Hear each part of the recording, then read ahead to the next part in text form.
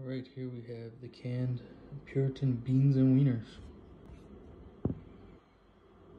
in tomato sauce. And nutrition facts.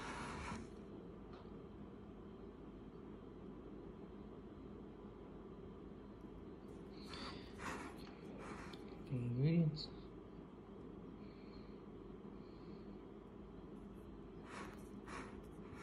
and cooking instructions. Like, we already figured how to heat up some beans. Uh, the expiry date was on the, the top, but I figured I'd open it so you can see what it looks like. As you can see, there's quite a bit of hot dogs in there.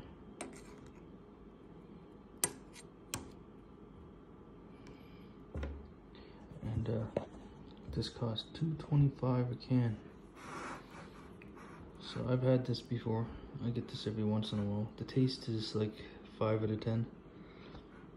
It's good, but it's not great. You have a little bit of molasses, maybe add a little, just a little bit of that. Bring them to life, you know. But overall, they're they're pretty good. They're filling. Can't go wrong, you know. And that's it. Puritan beans and wieners. Alrighty. Thanks for watching.